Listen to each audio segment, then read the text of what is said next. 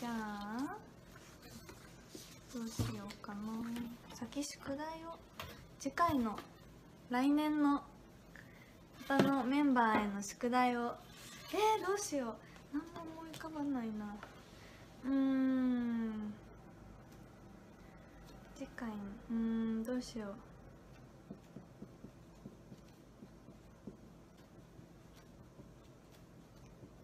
書いてます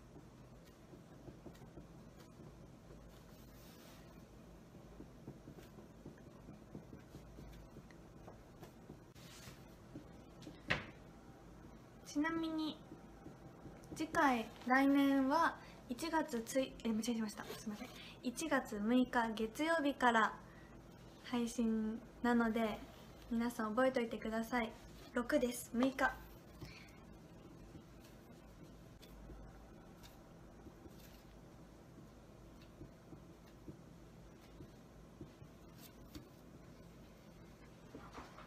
書けた。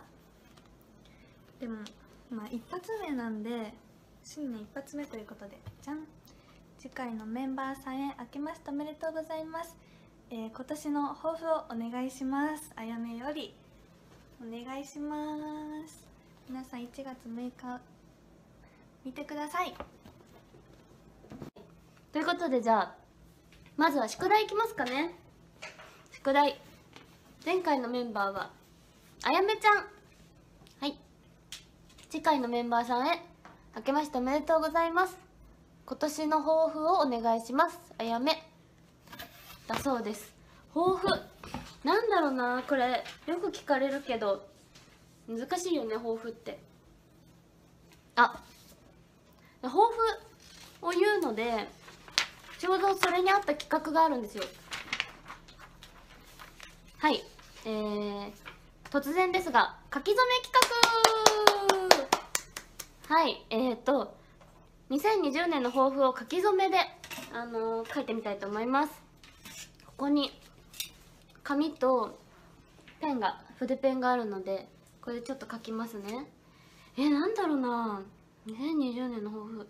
うーん。個人的に。あ1万3000人の方がありがとうございます。お正月から。今日からね仕事始めなのに。大変なのにありがとうございます。え何がいいかな？噛まないようにするって書いてある。めちゃめちゃめちゃめちゃ直したい。ああどうしよう。ええー、迷うな。エンジン？エンジン？エンジン？誰か言ってたかな？エンジン最悪だったんですけど紅白の時の。どうしよう。じゃあもう個人的な本当グループのことはいろんなとこで言わせてもらったので今年のじゃあ個人的なのにするね。はい。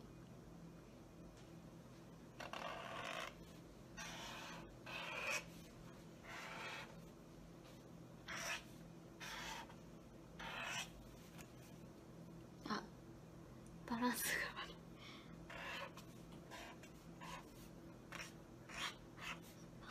入んないよこれはあも。全部間違えたな。名前書く位置もおかしいし文字も入ってないし年始早々ちょっとぐちゃぐちゃなんですけど風邪もひいて。はい。じゃあ発表します。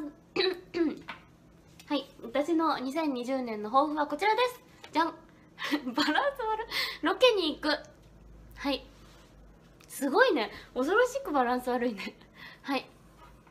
あのー、そう。ロケに行くっていうのは個人的な目標なんですけど。あのバラエティ番組とかがすごい好きだったりするのであと旅番組とかも見てるのもすごい好きだからいろんなところにいろんな街にロケしに行ったりとかリポートとかできたらいいなっていう思いを込めてこれにしました。そう名前の位置は多分こっち。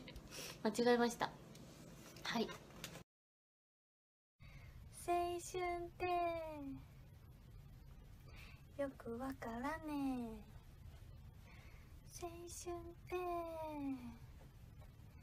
よくよくよくよくよくよくよくよくうん。やるしかねえ。